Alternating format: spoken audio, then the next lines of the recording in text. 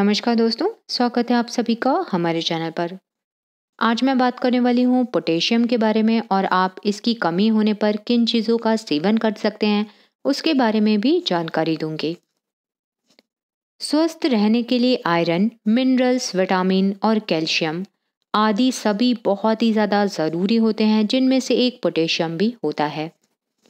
शरीर में पोटेशियम की कमी को हाइपोकैलेमिया कहा जाता है।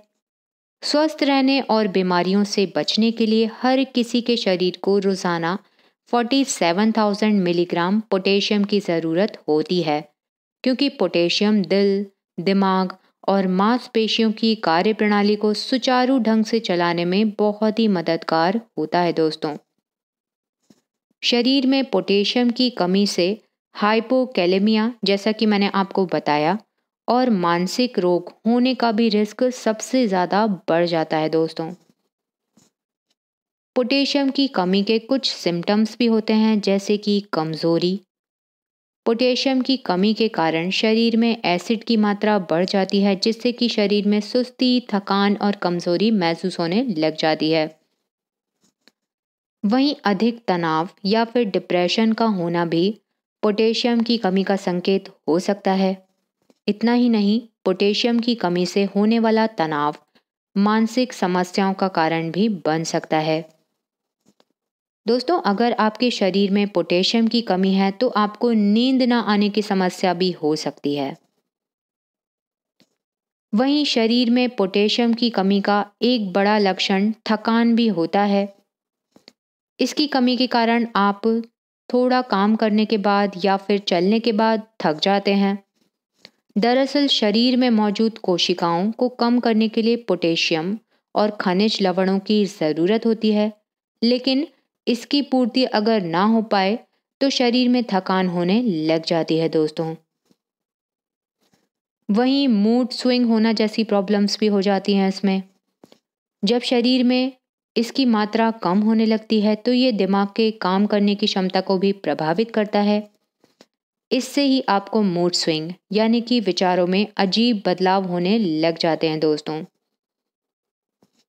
वहीं दोस्तों ब्लड प्रेशर का बढ़ना या फिर कम होना भी इसका संकेत हो सकता है। पोटेशियम दिल को स्वस्थ रखने में मदद करता है। इसके साथ ही ये शरीर में सोडियम की मात्रा को कम बनाए रखने के साथ साथ ब्लड प्रेशर को भी कंट्रोल में रखता है दोस्तों। ऐसे में इसकी कमी होने पर ब्लड प्रेशर का बढ़ना या फिर कम होने जैसी प्रॉब्लम्स भी हो सकती हैं आपको। तो चलिए दोस्तों, आज मैं आपको बताऊँगी कि आपको पोटेशियम की कमी होने पर किन चीज़ों का सेवन करना चाहिए। इसकी जानकारी जानने से पहले, सबसे पहले तो एक निवेदन उन लोगों से करना चाहूँगी, जो आज पहली बार हमारे चैनल पर आए हैं। कृपया सब्सक्राइब का बटन दबाकर हमारी सदस्यता को ज़रूर ले लें। ताकि आप हमसे जुड़े रहें, हमारे द्वारा दी गई जानकारी को रोज देख पाएँ और उनसे फ़ायदा बिठा सकें। दोस्तों, आप इसके लिए सफ़ेद बीन्स खा सकते हैं। सफ़ेद बीन्स पोटेशियम का एक बहुत ही अच्छा स्रोत होती हैं और मात्र इसके ज़रिए ही पोटेशियम की दैनिक आवश्यकता की पूर्ति भी की जा सकती है। एक कप सफ़ेद बीन्स में करीबन three six three six milligram potassium और सिक्स सेवेंटी थ्री कैलोरी पाई जाती है। इसके अतिरिक्त सफ़ेद बीन्स फाइबर और फोलेट का भी एक अच्छा स्रोत मानी जाती है दोस्तों। इसलिए आप अपने इवनिंग सूप में वाइट बीन्स को ज़रूर शामिल कीजिए। इससे आपको फ़ायदा मिलेगा। वहीं पालक में भी पोटेशियम काफ़ी अच्छी मात्रा में पाया जाता है। एक कप अर्थात लगभग 30 ग्राम पालक में 167 मिलीग्राम पोटेशियम और 7 कैलोरी पाई जाती है। वैसे पालक पोटेशियम के अतिरिक्त आयरन और कैल्शियम का भी एक बेहतरीन स्रोत होता है दोस्तों, जहाँ आयरन हेल्थ, हेयर हेल्थ को बेहतर बनाने के साथ साथ एनीमिया से भी बचाव करता है।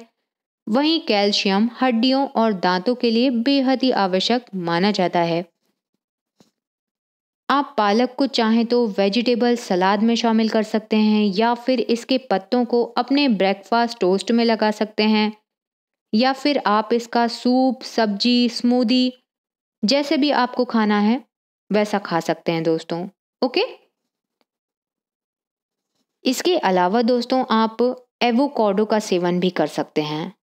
एक एवोकाडो में लगभग 975 मिलीग्राम पोटेशियम और 322 कैलोरी पाई जाती है।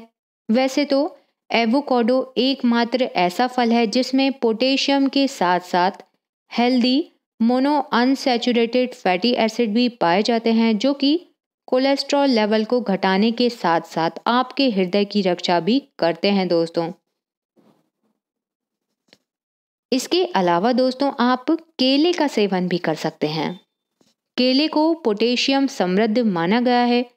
एक बड़े केले में लगभग 487 मिलीग्राम पोटेशियम और 121 कैलोरी पाई जाती है।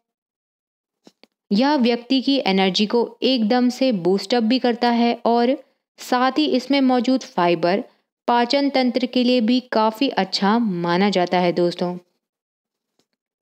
आप केले को चाहें तो यूँ ही खा सकते हैं या फिर इसकी स्मूदी बनाकर पी सकते हैं। यह पूरी तरह आप पर निर्भर करता है। Okay friends? तो दोस्तों, आपको हमारे द्वारा दी गई यह जानकारी कैसी लगी, हमें कमेंट करके ज़रूर बताइएगा। और आपको आज की जानकारी अच्छी लगी हो तो इसे लाइक और शेयर ज़रूर कीजिएगा। अपना कीमती समय देने के लिए आप सभी को बहुत बहुत धन्यवाद।